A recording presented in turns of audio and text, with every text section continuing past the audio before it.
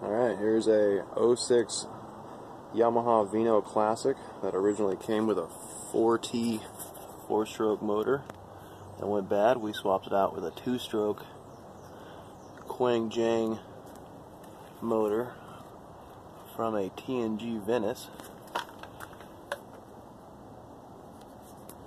And we have it wired up with a 02 through 05 Yamaha Zuma CDI which has a should work with this kill switch. We got the ignition switch wired around because we don't have a key for it. Turn that on. Oh, plug battery in. That will help. Fancy run.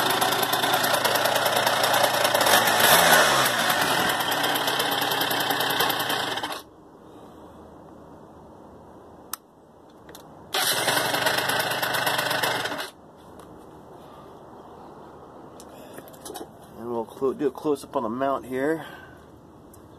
It is the TNG Venice motor and TNG Venice motor mount just bolted into the mount locations for the factory four-stroke motor. Short case motor fits well in the chassis. It stretches it out a couple inches.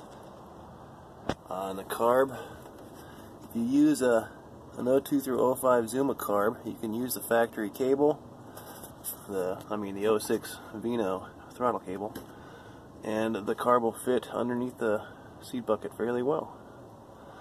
Um, the electrical conversion can be seen at twostrokeassassins.com. Alright, thanks.